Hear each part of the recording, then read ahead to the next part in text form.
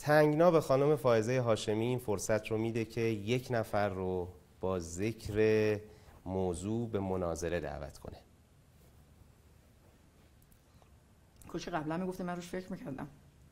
یک نفر رو با ذکر موضوع به مناظره دعوت بکنم. خب بگم. بفهم پخش می‌کنید بله. خب من ترجیحم اینه که با خود آقای خامنه ای بشینیم گفتگو بکنیم و رو در رو خیلی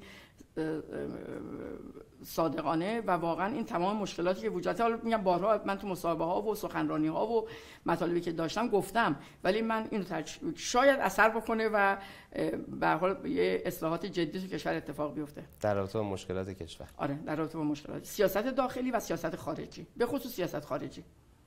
شما ترجیح می‌دید راجع به سیاست خارجی بیشتر با ایشون صحبت تر... سیاست خارجی هم رو سیاست داخلی اثر گذاره و جفتش مهمه ولی من ترجیح میدم بیشتر در مورد سیاست خارجی همچنین در مورد سیاست داخلی.